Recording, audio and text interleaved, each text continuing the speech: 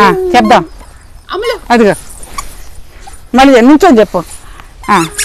Hi. అడుగు hi చెప్పు. అటు అటు. అదిగో అటు అటు.